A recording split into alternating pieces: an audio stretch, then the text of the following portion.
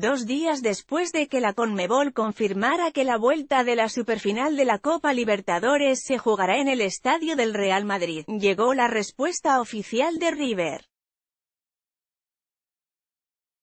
A través de un comunicado, el club rechazó de forma tajante la decisión de mudar el partido y volvió a responsabilizar a las autoridades de la ciudad por las fallas en el operativo de seguridad.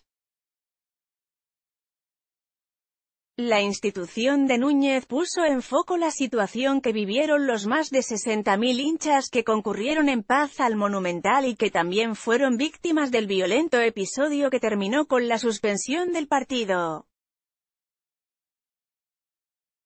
Aguardaron pacientemente durante alrededor de ocho horas el día sábado y volvieron a concurrir por segunda vez al estadio el domingo, afirma el comunicado. Si bien la Confederación Sudamericana de Fútbol tiene la facultad de mudar la localía por ser la organizadora del torneo, desde River consideran que la medida es injusta y que significa un daño económico y moral para el club y sus simpatizantes. A través de esta publicación oficial, los dirigentes con Rodolfo Donofrio a la cabeza intentan que se revea la decisión y presionar hasta las últimas consecuencias para que el partido se dispute en el Monumental. Además, se desligan de cualquier conflicto legal ante la posibilidad de que socios del club decidan efectuar juicios por los perjuicios de la suspensión. El comunicado de Rivera a partir de la presentación realizada durante el día de ayer, viernes 30 de noviembre, ante la Confederación Sudamericana de Fútbol, Conmebol, River Plate ratifica su rechazo al cambio de sede. El club entiende que la decisión desnaturaliza la competencia, perjudica a quienes adquirieron su ticket y afecta a la igualdad de condiciones a partir de la pérdida de la condición de local.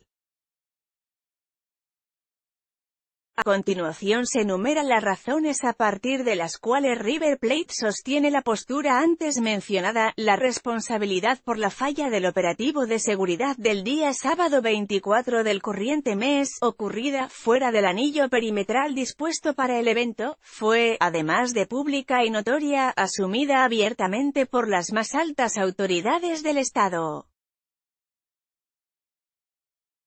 Esto equivale a decir que los hechos que River Plate lamenta y por los que se solidarizó oportunamente no son de ningún modo responsabilidad del club. Más de 66.000 asistentes al estadio aguardaron pacientemente durante alrededor de ocho horas el día sábado y volvieron a concurrir por segunda vez al estadio el día domingo.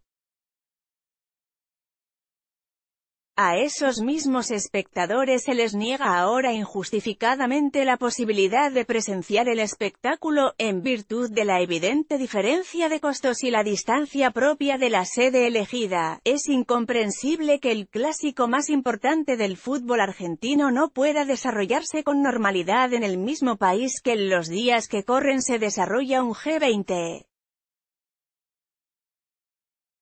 El fútbol argentino en su conjunto y la Asociación del Fútbol Argentino, AFA, no pueden ni deben permitirse que un puñado de violentos impidan el desarrollo del superclásico en nuestro país.